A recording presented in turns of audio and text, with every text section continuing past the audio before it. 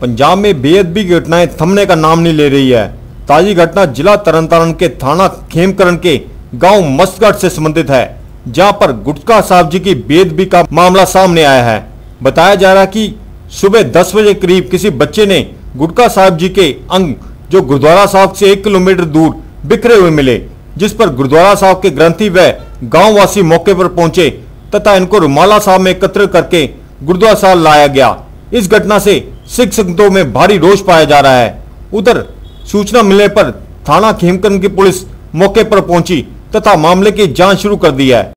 ਬਹੁਤ ਦੁੱਖ ਦੀ ਘਟਨਾ ਹੈ ਇਸ ਪਿੰਡ ਵਿੱਚ ਬਹੁਤ ਨਗਰ ਵਿੱਚ ਥਪਾਕ ਸੀ ਚੰਗਾ ਵਧੀਆ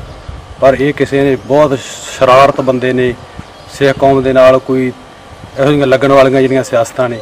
ਅਸੀਂ ਨਹੀਂ ਕਹਿ ਸਕਦੇ, ਕਿਸੇ ਦਾ ਨਾਂ ਲੈ ਕੇ ਨਹੀਂ ਕਹਿ ਸਕਦੇ ਵੀ ਕਿਸੇ ਨੇ ਕੀਤਾ ਚਿੰਜੇ ਹੋਏ ਹਜੂਆਂ ਦੇ ਨਾਲ ਇਸ ਦੁੱਖ ਦਾ ਪ੍ਰਗਟਾਵਾ ਕਰਦੇ ਹਾਂ ਕਿ ਸਾਡੇ ਨਗਰ ਵਿੱਚ ਬਹੁਤ ਪਛਤਾਤਾਪ ਹੋਇਆ ਹੈ। ਸੋ ਅਸੀਂ ਮੀਡੀਆ ਨੂੰ ਵੀ ਬੇਨਤੀ ਕਰਦੇ ਹਾਂ ਔਰ ਸਰਕਾਰ ਦੇ ਅੱਗੇ ਵੀ ਇਹ ਬੇਨਤੀ ਕਰਦੇ ਹਾਂ ਕਿ ਇਹੋ ਜਿਹੇ ਜਿਹੜੇ, ਉਹ ਜਿਹੜੇ ਹਰਕਤਾਂ ਕਰਦੇ ਨੇ, ਉਹਨਾਂ ਨੂੰ ਨੱਥ ਪਾਉਣ ਅਤੇ ਉਹਨਾਂ ਨੂੰ ਚੰਗੀ ਤਰ੍ਹਾਂ ਸੰਭਾਲਣ, ਕਿਉਂਕਿ ਸਰਕਾਰ ਕੁਝ ਵੀ ਕਰ ਸਕਦੀ ਹੈ, ਜੇ ਚੰਗੀ ਤਰ੍ਹਾਂ ਸੰਭਾਲ ਕੇ ਰੱਖਣ ਤੇ ਇਹੋ ਜਿਹਾ ਕੰਮ ਨਾ ਹੋਵੇ। ਜਾਗਤੀ ਲੜਕ ਲਈਏ लिए खेमकरण से हरमन बुट्टर की रिपोर्ट